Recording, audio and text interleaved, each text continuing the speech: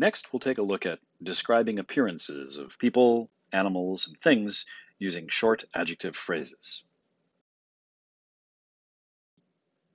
The basic sentence pattern that we use for describing things is similar to the way we used suki and kirai uh, to say that we like or dislike things back a couple lessons ago.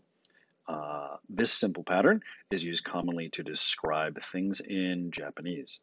Uh, there are some differences, however, where the physical appearance of people and, well, animals are concerned. The Japanese phrase things a little bit differently than we do in English. Let's take a look, for example, at the sentence below. In English, the sentence, Tom's hair is long, could be used to describe Tom's physical appearance, the length of his hair in this case. Uh, we might phrase that in Japanese thusly. Tom-san no kami wa nagai desu. It is, however, more natural uh, pattern of phrasing this sentiment in Japanese to say it like this. Tom san wa kami ga nagai desu. Contrast that with the former version from the previous slide, that is Tom san no kami Certainly in English we say Tom's hair is long, and we've got that apostrophe S. Therefore, we can kind of link it with the no here, as we know that the particle no can be used to indicate possession, but Japanese tend not to phrase things this way they will stick with this phrase, that is, Tom-san wa kami ga nagai desu.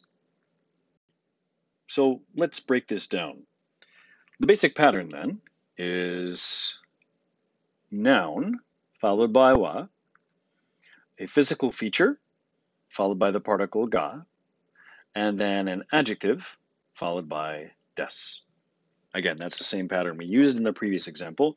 Tom-san followed by the topic marker wa. Kami, referring to his hair. Ga, our uh, particle here, we'll use to connect uh, nouns and the adjectives that describe them, followed by the word des. Let's take a look at some example sentences to give you a better feel for how these work. Zou wa hana ga nagai desu. Elephants have long noses. Doraemon wa atama ga. Doraemon wa atama ga. ドラえもんは頭が大きいです。ドラえもん has a big head. キリンは首が長いです。キリンは首が長いです。Giraffes have long necks. カバーは口が大きいです。カバは口が大きいです。Hippos have big mouths. アルパカは毛皮がふわふわです。アルパカは毛皮がふわふわです。Alpacas have fluffy fur. イルカは頭がいいです。イルカは頭がいいです。Dolphins have good heads. In other words, they're smart. 天狗は鼻が長いです。天狗は鼻が長いです。天狗 have long noses. ピカチュウは足が小さいです。ピカチュウは足が小さいです。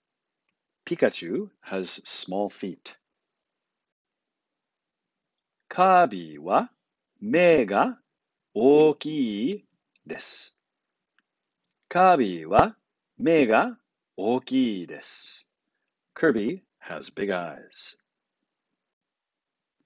ぐでたまはお尻がかわいいです。ぐでたまはお尻がかわいいです。ぐでたま has a cute butt. Aw, don't he just? You can also use the past tense to say that a person was such a way. In this case, the sentence Einstein was smart in Japanese would be rendered thus. Einstein wa atama ga yokatta です。アインシュタインは頭が良かったです。アインシュタイン was smart. ガンジーは顔が優しかったです。ガンジーは顔が優しかったです。ガンディ had a kind face. Okay, you ready for some practice? I'll give you two words uh, a person or a noun, an animal of some sort, and then a bodily attribute, um, hair or a nose or something like that. And I'd like you to pause the video uh, after I've shown you that pair of words. See if you can come up with a sentence, speak it out loud or just think it in your head, uh, describing that physical attribute of that person or that animal. Here we go. The words are 오네상 kami.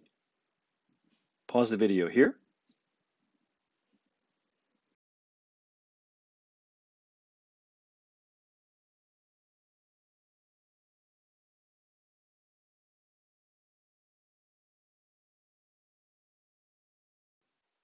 Your sentence describing your older sister's hair should sound a little something like this. お姉さんは髪が長いです。お姉さんは髪が長いです。カッパ耳 Kappa, by the way, are mythological Japanese creatures that live in rivers, enjoy cucumbers, and eating small, unruly children. Look them up. Kappa, Mimi. Pause the video. Kappa wa Mimi ga 小さいです。For this next one, 友達、髪。My friend's hair is red. Pause here, see if you can figure out how to say it. 友達は髪が赤いです。友達は髪が赤いです。鬼。口。So, the demon has a big mouth, or the ogre has a big mouth. Pause the video here. 鬼は口が大きいです。鬼は口が大きいです。お姉さん 花。my older sister has a big nose. How would you say this? Pause here. お姉さんは鼻が高いです。高い. So this word, Japanese don't say 鼻が大きい. If you have a big nose, they say 鼻が高い. In other words, you have a nose that stands out high from the surface of your face has always been my assumption. At any rate, the Japanese do not use hanaga oki. Hanaga takai would be the phrase for someone with a big nose. Not that I know anything about that. Baku, hana. The baku, by the way, is a legendary mythological Japanese creature that eats your dreams uh, at night. I assume he vacuums them up through his long, long nose. Actually, I'm not sure how it works. At any rate, see if you can come up with a sentence for the Baku has a long nose. Pause the video here. Baku wa hana ga nagai desu. Baku wa hana ga nagai desu. Usagi mimi. Pause the video here. Usagi wa 耳が長いです。うさぎは耳が長いです。力士 that's the word for a professional sumo wrestler. お腹 uh, prof professional sumo wrestlers have big stomachs. So see if you can come up with that sentence. Pause the video here. 力士はお腹が大きいです。力士はお腹が大きいです。お姉さん、髪。My older sister's hair is blue. Pause here, see if you can come up with that sentence. お姉さんは髪が青いです。お姉さんは髪が青いです。犬、耳。Pause the video here. 犬は耳が長いです。犬は耳が長いです。ワニ、口。Alligators have big mouths. Pause the video here. ワニは口が大きいです。ワニは口が大きいです。男の子、髪。The boy has short hair.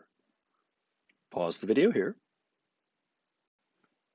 男の子は髪が短いです。男の子は髪が短いです。おじさん、髪。So Oji-san, you may recall, is uncle, and kami is hair on one's head. This guy does not have any. How would you say, my uncle has no hair? Ponder that a moment. Pause, and when you think you've got it, hit play. おじさんは 髪がありません。おじさんは髪がありません。Okay, that wraps up our video practice session. I'll give you some extra practice uh, writing descriptions and another assignment online for you to get some uh, further practice with this. 頑張って